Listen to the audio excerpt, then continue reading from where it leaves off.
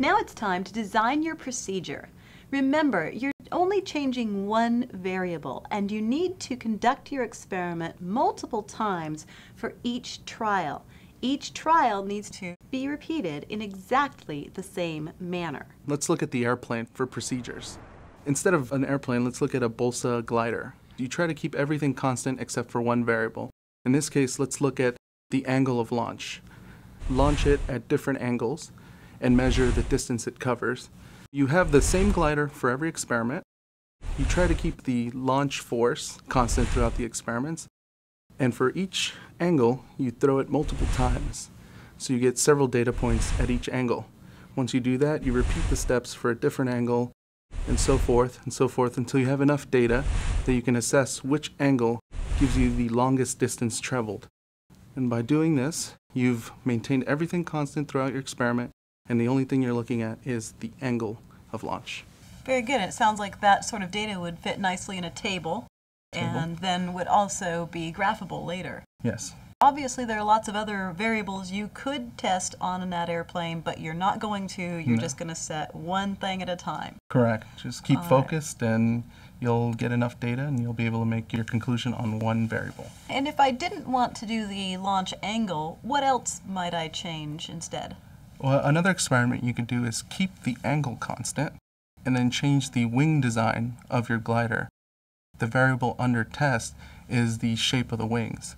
So you would do the same procedure. For one wing design, you would launch it several times, take your distance measurement, then you would change your wing design, return to that same angle, and do several launches. And you do this for as many wing designs as you have.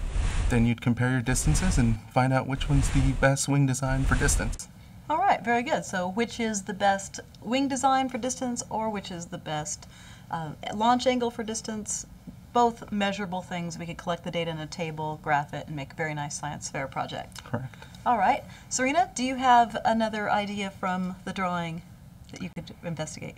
Looking at the picture, one science question you could attempt to answer is what type of window covering best keeps a room cool. So you could look at curtains, you could look at blinds, maybe aluminum foil, or even a tree in the yard that's shading that window. So you would look at those different types of window coverings and measure the temperature within the room at different times during the day and look at the difference between that temperature and the temperature that's outside. Okay, so you would be comparing the different coverings. You would investigate the data in the morning mm-hmm. and perhaps after school when you got home mm-hmm. and then just before sundown? Yes. Make sure you have data from different times of the day. Make sure that everything else is kept the same and the only thing you're changing is the window covering. And as many days as you possibly mm-hmm. can. One day the thermometer maybe isn't working and you want to make sure that you notice that difference and that you can take that set of data out when you look at the overall trend.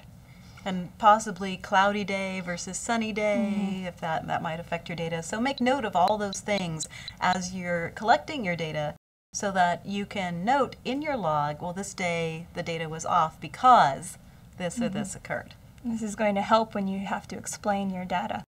Okay, so we have several ideas here, uh, pretty simple materials, things you can come up with on your own for not a very expensive amount, and you can conduct a really good science experiment. Remember to measure your data carefully. Make sure that you record the units that you use. In most cases, this will be the metric system, but in some cases it may not be. Check with your teacher for clarification on that. And also, make sure that your logbook is neat and organized so that you're ready for your next step in the process.